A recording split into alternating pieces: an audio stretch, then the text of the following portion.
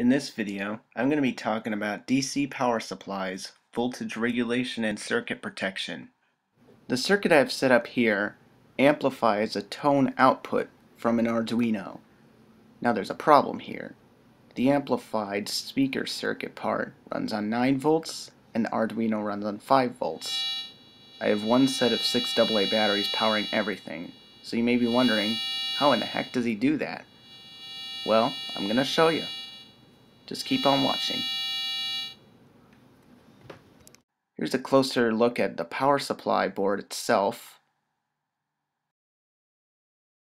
And here it is drawn up in a little schematic so that you can take a closer look at it.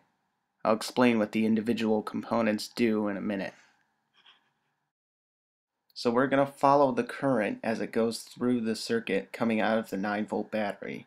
The first thing it goes through is a fuse and a diode and then it's essentially connected directly to the 9 volt output which powers my amplifier along with a 1000 microfarad capacitor to smooth the output and an LED to indicate the 9 volts is on and then we have this curious little thing called a voltage regulator. Now this is because computer chips require a very specific voltage most of the time. Supply them with too little and they won't be reliable. Also, applying a voltage over the computer chip's rated voltage is never an advisable thing to do unless it's on the 4th of July and you're outside. Okay, maybe that's a bit of an exaggeration but you occasionally they do heat up and maybe even smoke a little bit if you give them too much voltage or if they've just failed for other reasons. Now a voltage regulator isn't the only way to lower the voltage to a level that you need. You can also use something called a voltage divider which is basically two resistors of different sizes and the actual values of the individual resistors don't matter. It's more the ratio that matters. But there are a few problems. First of all, the resistors themselves inherently limit the amount of current that a voltage divider can provide. Also, there's another problem, especially when running off of batteries. Essentially, the output of the voltage divider will always sink at the same rate as the input voltage. So as soon as the battery voltage starts to sink by even the smallest amount, you'll have the output sink by that very same amount. Once the voltage goes down to a point where your computer chips, your ICs are unreliable, your battery is essentially dead for that circuit because it can't power it reliably anymore. So voltage dividers aren't really that good for that sort of purpose, actually powering much of anything. Voltage regulators are better for this purpose. A voltage regulator keeps the voltage relatively constant regardless of any minor variations in the input voltage. This is especially true with some AC adapters because not all AC adapters are very well regulated, so an adapter that says 9 volts might give you something more like 12 volts when it's unloaded at least. And also, a battery that says 9 volts might give off like, I don't know, 9.5 volts or something like that when it's brand new and fully charged. A voltage regulator, your circuit won't care. So, all you got to do is pay attention to the dropout voltage which is basically just a rating on your voltage regulator that tells you how high the input voltage must be above the regulated level and if it's not the regulated level will be kind of unstable it might kind of fluctuate it might drop so for a 5 volt regulated circuit 9 volts is plenty enough headroom because if your battery drains to the point where the dropout voltage becomes an issue, it's probably not going to be able to provide hardly any current whatsoever at that point anyway. Now there's two main types of voltage regulators, linear and switching. This is a linear regulator here. As you can see it requires very few external components except for a few like teeny tiny capacitors, and at those sides they're like a dime a dozen, so you almost don't need to factor them in at all.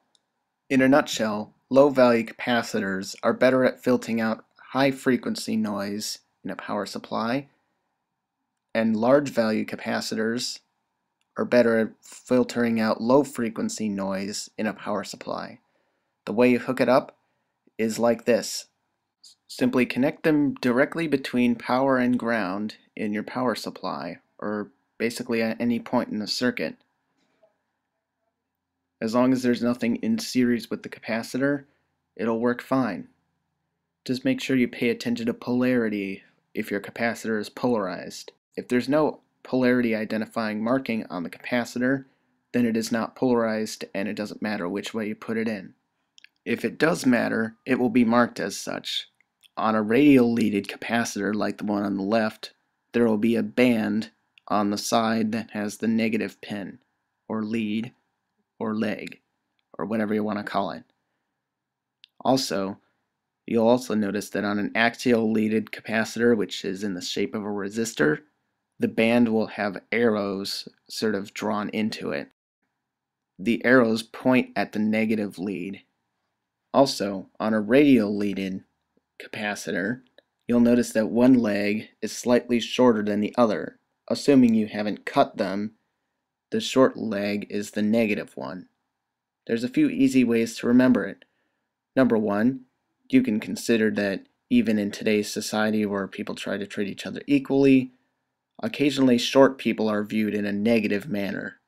Also, the shorter someone is, the closer they are to the ground. It's very important that you pay attention to the polarity and double check the circuit before you turn it on, because if you get it wrong, the capacitor will explode. So let's go back to the different kinds of voltage regulators and differences between them.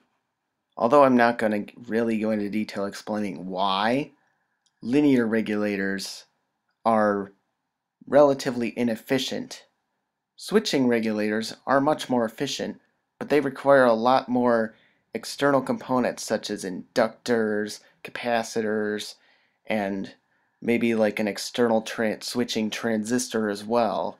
So, you know, they're they're quite a bit more complicated than uh, linear regulators. So they're less than entirely suitable for most hobbyist applications. To be honest, I wouldn't want to mess with a switching one.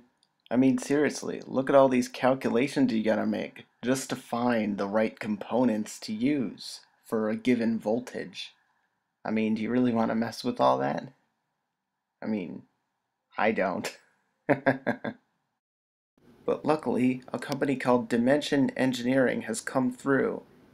They've basically made something for when you've got when you've already got a DC voltage that's below like 30 volts you can use this thing to power your circuit.